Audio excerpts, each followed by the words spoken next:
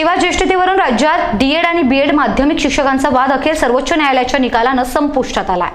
B.Ed माध्यमिक शिक्षकांवरील अन्याय या निकालानं दूर झाला असून याबाबत बीएड नियुक्त माध्यमिक शिक्षक संघाचे अध्यक्ष चंद्रकांत भवार आणि उपाध्यक्ष सुनील भावळ यांनी माहिती दिली.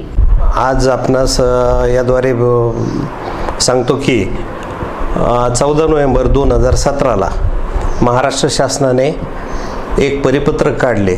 त्या परिपत्रकामध्ये अखंड सेवा गृहीत धरून डी एड शिक्षकांना मुख्याध्यापक पदावर नियुक्त करावे अशा प्रकारचा आदेश देण्यात आलेला होता.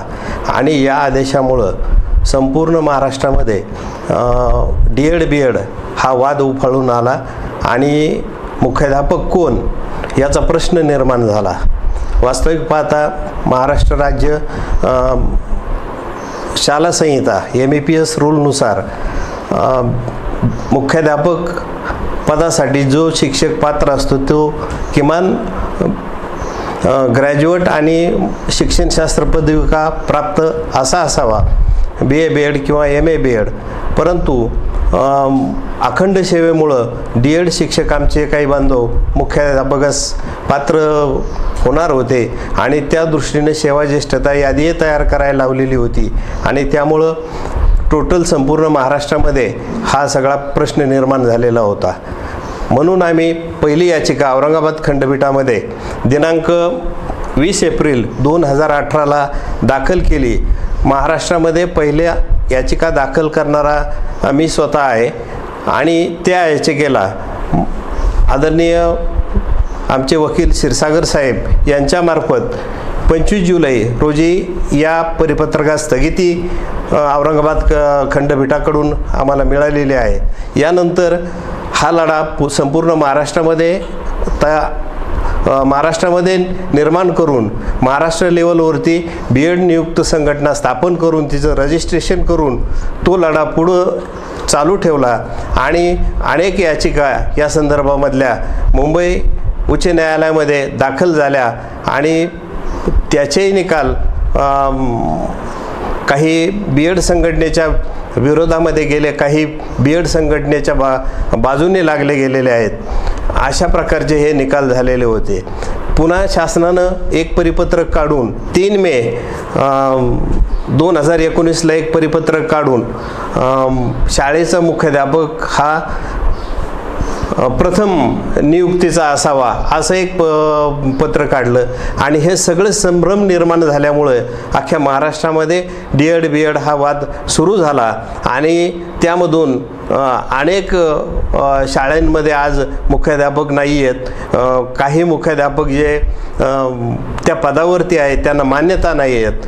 काही मुख्याध्यापक मुख सेवानिवृत्त झाले आहेत त्यांची पेन्शन नाही आहे. म्हणजे असे अनेक प्रश्न गेल्या दोन वर्षापासून या महाराष्ट्र शासनाने शिक्षण विभागानं निर्माण केल्यामुळं कमालीचा गोंधळ आत्तापर्यंत कधीही शिक्षण भाग भा विभागामध्ये ह्या प्रकारच्या झालेला नाही. तो गोंधळ या ठिकाणी निर्माण झालेला आहे. आणि मुंबई उच्च न्यायालयात आमच्या संघटनेच्या बाजूने निकाल लागलेला आज आहे.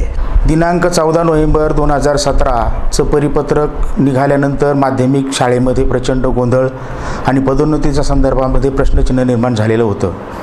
आणि या परिपत्रकाला विरोध म्हणून महाराष्ट्र राज्य बी एड नियुक्त माध्यमिक शिक्षक संघाची स्थापना झाली. या संघाने या चौदा अकराच्या परिपत्रकाला विरोध करत मुंबई उच्च न्यायालयामध्ये धाव घेतली.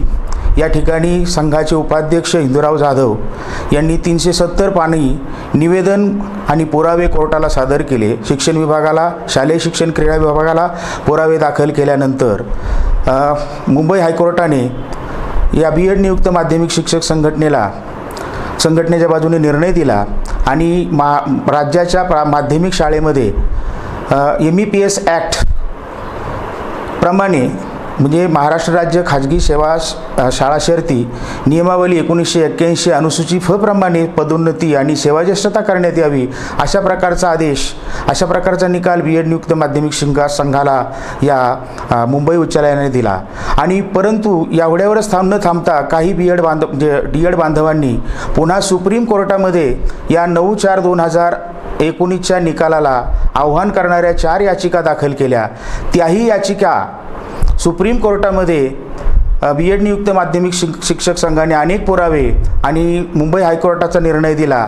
आणि तो निर्णय कायम ठेवून या चारही डी एड बांधवांच्या याचिका सुप्रीम कोर्टामध्ये रद्दबादल करत पुन्हा एकदा संघटनेच्या बाजूने सेवा ज्येष्ठतेचा निर्णय या सुप्रीम कोर्टाने देऊन हा कायमचाच प्रश्न संपुष्टात आणला. याच दरम्यानच्या काळामध्ये तीन पाच दोन हजार एकोणीसला महाराष्ट्र राज्य राज्याच्या शिक्षण विभागाने सुद्धा एक परिपत्रक काढून चौदा अकरा सतराचं परिपत्रक रद्द केलं. त्याचबरोबर चोवीस जानेवारी दोन हजार सतराचं परिपत्रक रद्द करून आणि पूर्वीप्रमाणेच M E P S rules nineteen eighty one प्रमाणेच पदोन्नती होतील अशा प्रकारचा निर्वाळा श- शिक्षण विभागाने दिल्यामुळे आता हा सध्याचा वाद जो निर्माण झालेला होता पदोन्नतीचा जो घोळ आणि संभ्रम निर्माण झालेला होता तो संभ्रम आता दूर झालेला आहे. या कामी संघटनेच्या सर्व पदाधिकाऱ्यांनी प्रचंड मेहनत घेतली परिपत्रकांचा त्याच्यानंतर पुराव्यांचा पाठपुरावा केला याबद्दल संघाच्या वतीने सर्व कार्यकर्त्यांचे आणि सर्व शिक्षकांचे